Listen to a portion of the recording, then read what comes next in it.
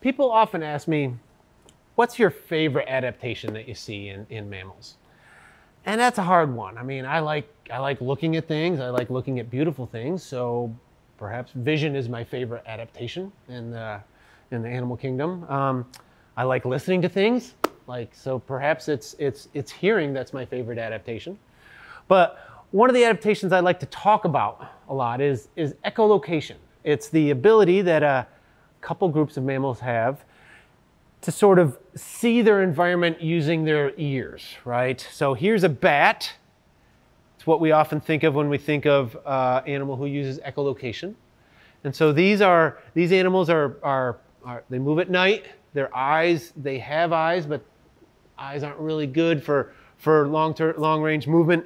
Uh, what they need to do anyway in terms of finding animals that are flying around out there. So they emit calls and then they listen for those echoes, those, those sound waves bounce off of things, uh, either obstacles or prey items, and then they're able to pick up information, pick up data from those echoes, and in their mind create a, a map of what the environment looks like. And it's just fascinating to me to think about animals doing that just by making clicks and listening to the echoes of those clicks.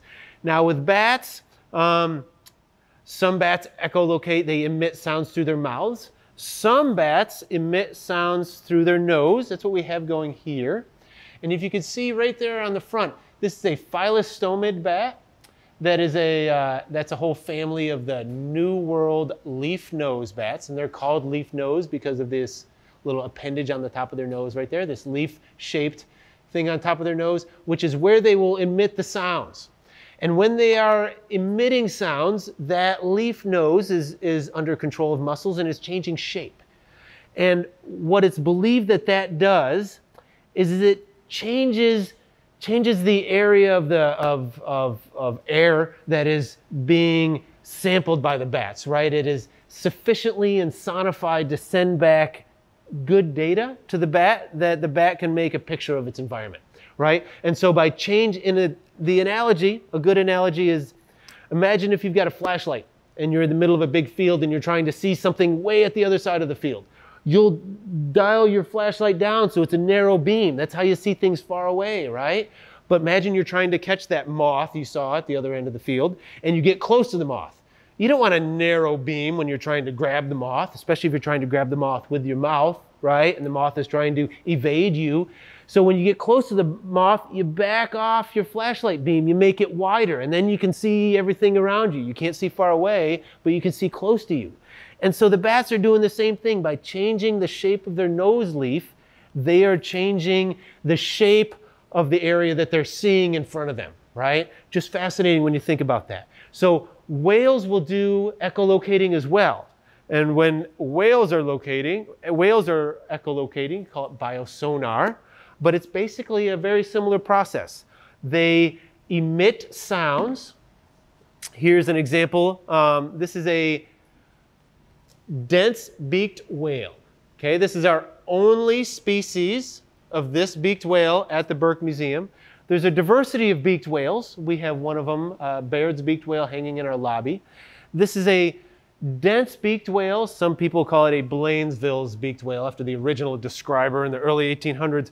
But the neat thing about this animal, um, all beaked whales, all toothed whales actually, that includes dolphins, uh, like orcas, it includes porpoises, includes sperm whales, they are all out there sampling their environment or sensing their environment with echolocation in a similar way to bats do it. Now they're underwater, so it's a very different medium. Making sounds and receiving sounds underwater is very different than how bats do it.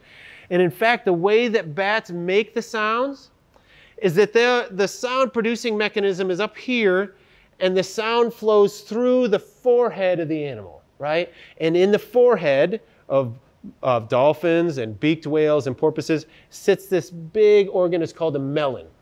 It's movable and it's where the sound waves travel through the melon out into the water and then they reflect off the prey item and are picked up by the whale back here.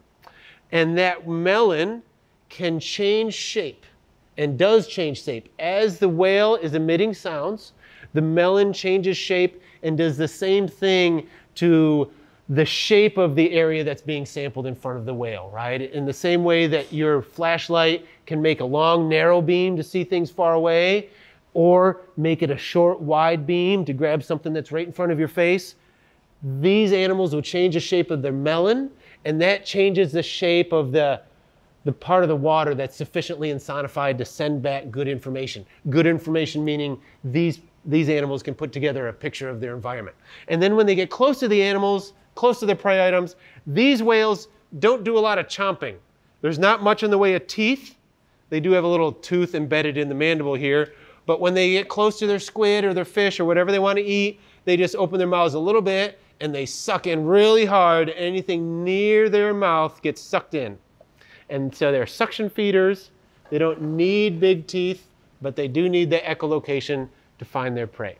And uh, I think that is just one of the neatest adaptations I've ever seen.